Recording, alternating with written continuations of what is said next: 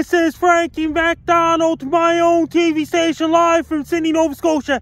Heavy rain is headed towards Los Angeles, California on Thursday, December 23rd, 2021. It's going to bring up to 30 plus millimeters of rain in Los Angeles, California, Hollywood, California, Burbank, California, and Long Beach, California, including Anaheim, Orange County, including all the way down to San Diego. It's going to bring a lot of rain in Los Angeles and the surrounding areas, including Corona, California, Victorville, California. It's going to bring a lot of puddles to the streets. And Thursday will not be a good day to head to the beach to go swimming.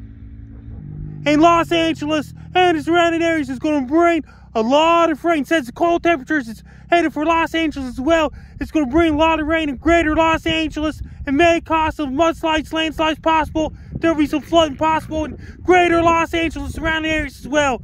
People in Los Angeles, California, be prepared. Have your rowboats ready, your ankles ready, raincoats ready. When you go outside, ready, ready, get ready, rowboats ready, raincoats to keep it dry. Make sure to don't walk through the puddles. Avoid the puddles when you go for a walk for people living in Los Angeles and the surrounding areas as well, including Corona, California, Orange County, Anaheim, Victorville, and Long Beach or Burbank, California, surrounding areas as well.